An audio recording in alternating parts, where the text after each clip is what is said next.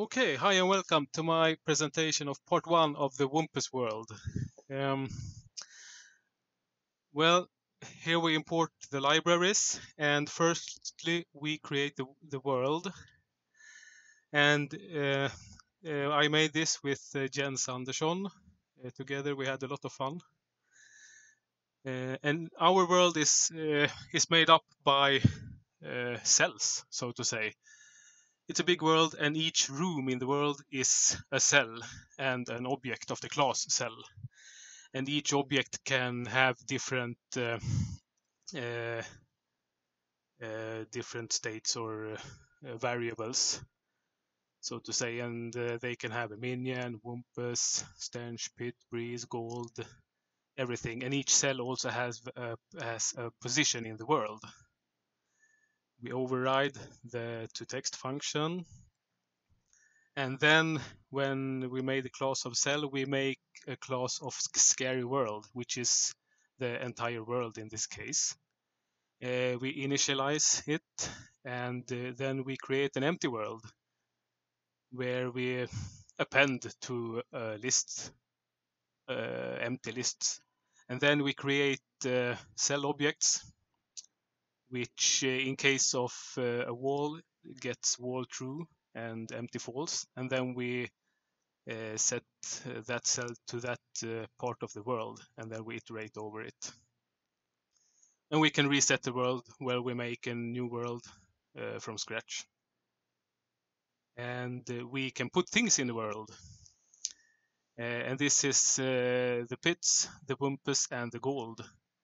And we iterate, so to say. We have a checkpost which is false, and then we have uh, each uh, positions which we take as a random integer, and we exclude the start position, and then we take uh, to one less than the width of the maze and height. And we iterate over it, uh, and if it's okay, if it's not the start position, it can be a pit, for example.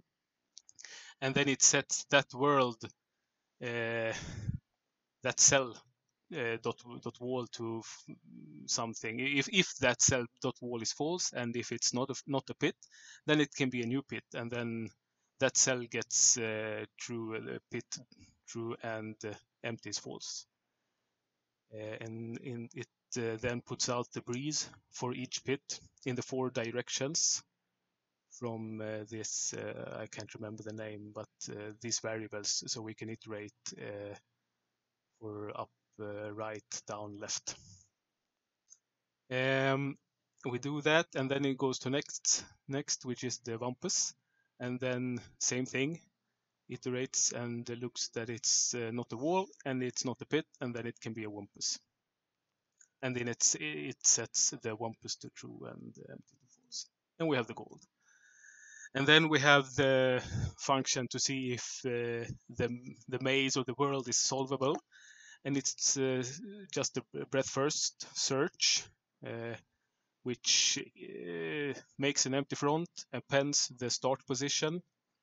And then while the front uh, is, uh, well, the length of front is more than zero or gold is true, which says, says it has found the gold, then it should iterate over the front and append to the front.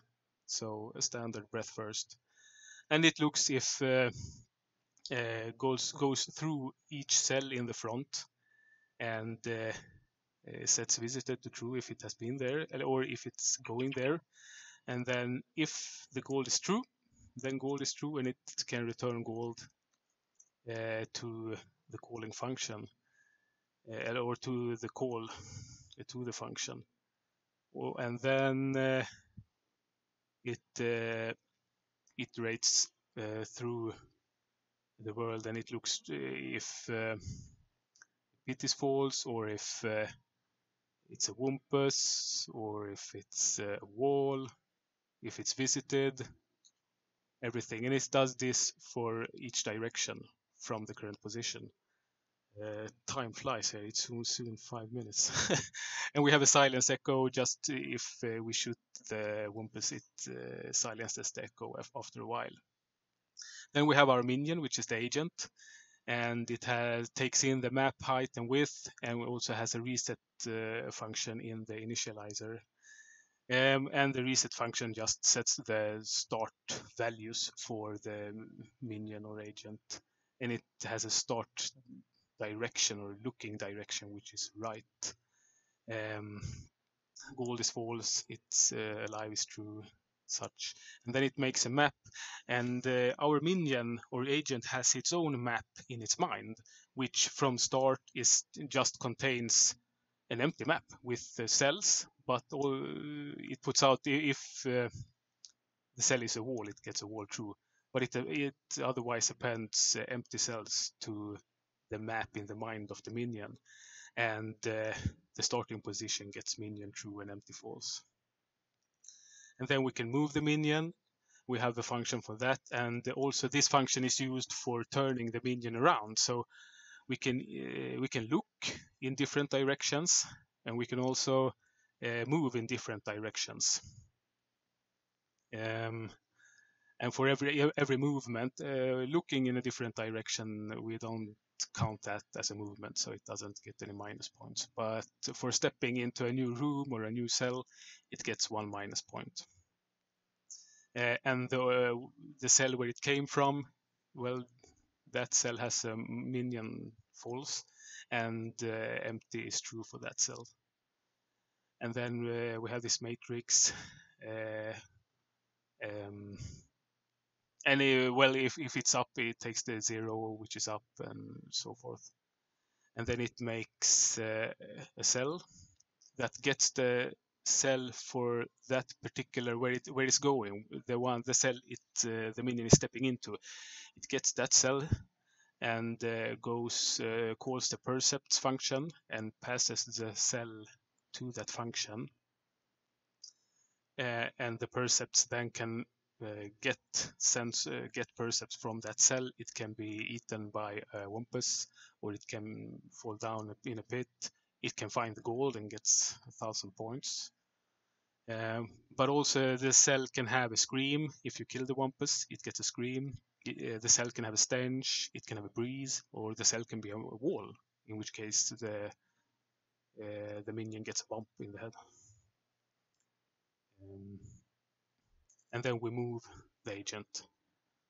Uh, we can also shoot an arrow, and the arrow is shooting in the in the direction the agent is facing, and uh, basically takes the direction and then iterates over in that direction, uh, goes through every cell in that direction until it the arrow either hits a wumpus or hits a wall.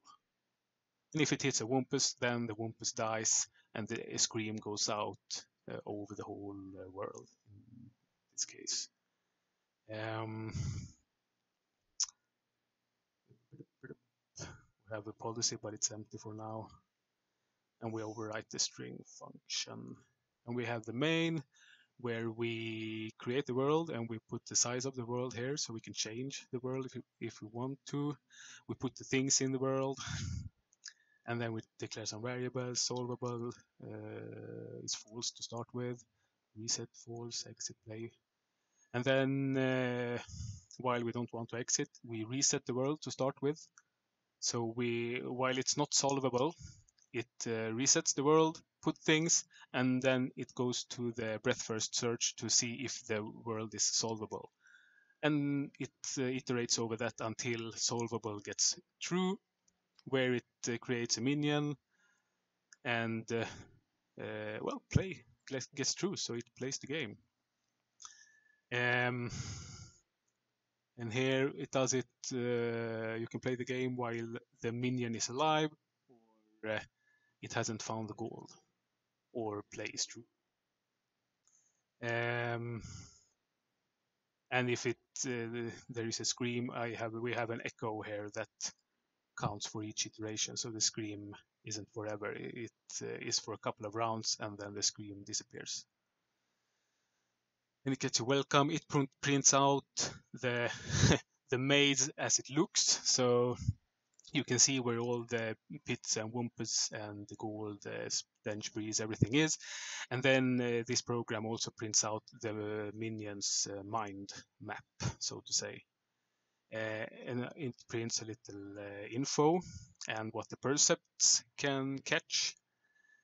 Uh, you have a menu uh, because now the game you can you can play the minion by yourself just to see that everything works. And it uh, you can you can write things. If you write wrong it uh, alerts you and you can try again.